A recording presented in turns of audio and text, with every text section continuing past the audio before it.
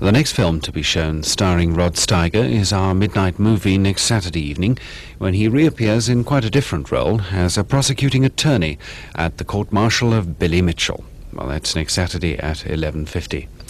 And staying with the subject of films and their creators, on Tuesday evening we begin a John Ford season with The Quiet Man, a romantic comedy set in the picturesque county of Galway in Ireland and starring John Wayne with Maureen O'Hara. The Quiet Man is on Tuesday at 8.30 here on 2.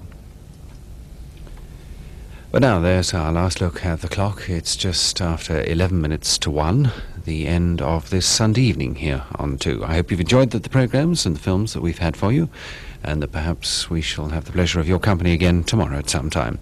But in the meantime, on behalf of all of us here on BBC Two, this is Robin Whitting from the Television Centre in London, wishing you all a very good night. Good night to you.